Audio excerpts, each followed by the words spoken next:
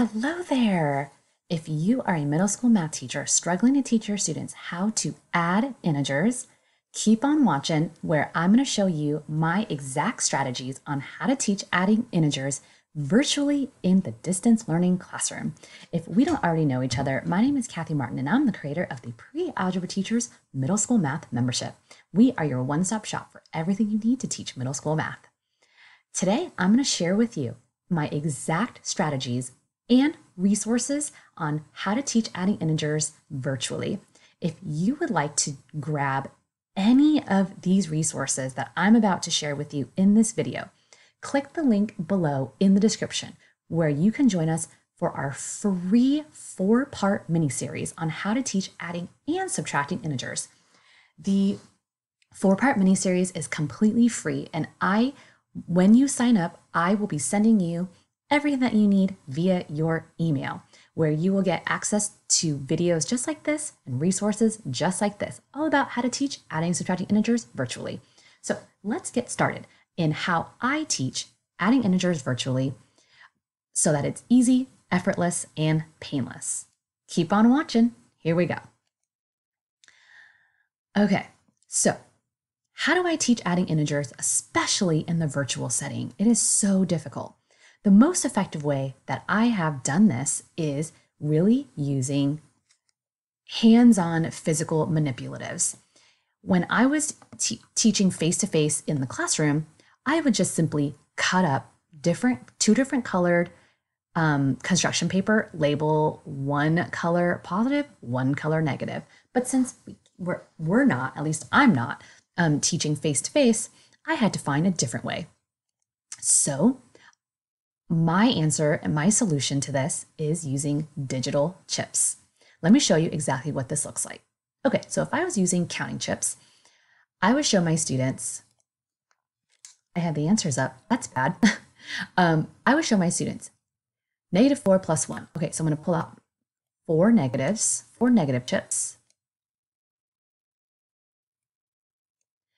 plus one positive chip. And I would show my students that a negative and a positive zero out. So if these zero out, what do you have left? Negative 3. Exactly. Okay? So in this example, I have five positives. One, two, three, four, five. And I'm going to add two negatives. So I'm going to pull out two of my red dots.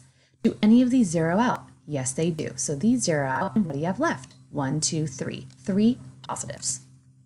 Perfect. Okay, next I have three positives, one, two, and three, and one negative. Do any of these zero out? Yes, right here. So what do you have left? One, two, two positives. So answer is two.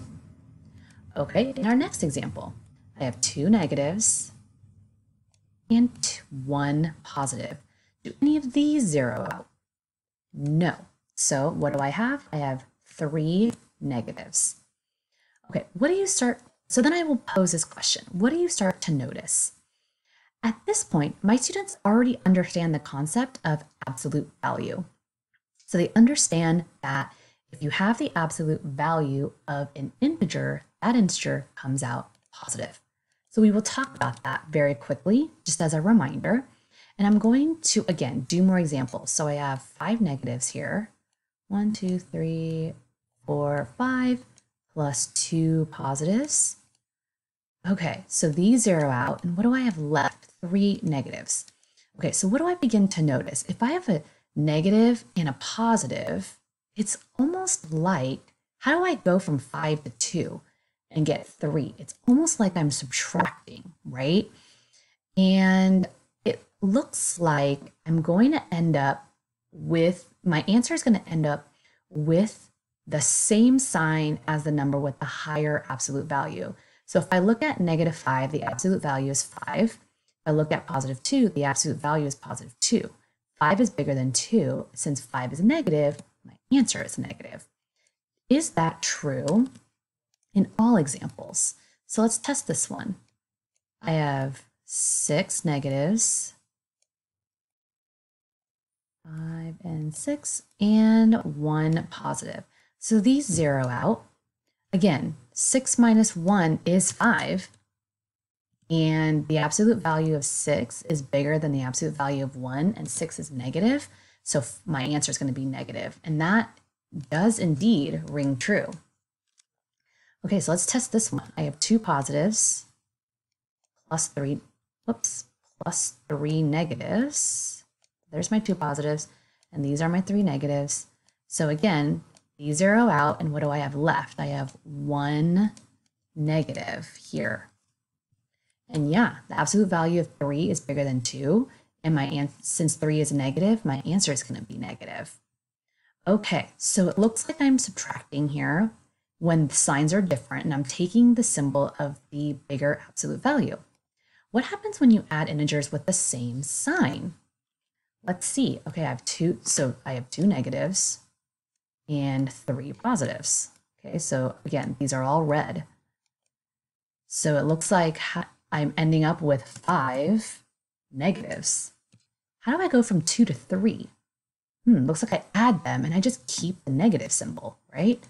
That's what it looks like. Let's test this one. I got a one and then a five. Two, three, four, and a five. One plus five is six, and I end up with six negatives. So what I end up doing for my students is we talk about these patterns. We talk about um, the different rules, and I will have this anchor chart hanging up in my classroom. With it being same sign, we're going to add and keep the sign.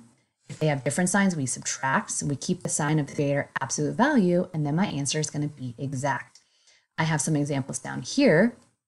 And what I also like doing is using an activity like this, this digital activity for them so that they can um, create, they can use their own digital chips if they want, or they can just simply use negatives and positives and then cancel things out and check the final answer.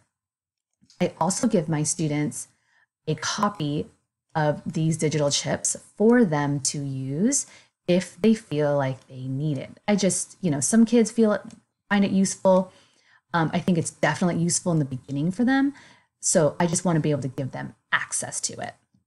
If you are interested in downloading our digital chips, our extended activity, or our anchor charts, don't forget you could sign up for our four part mini series. It's totally free, all about how to teach adding subtracting integers in the virtual classroom.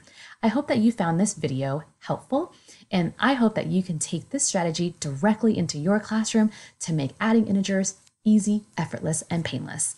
And as I mentioned, if you would like to join us for our free four-part mini-series on how to teach adding subtracting integers in your virtual classroom, where you can download all the activities that I've shown here, click the link below in the description and you can sign up right now. Can't wait to see you inside our mini-series. Until next time, bye!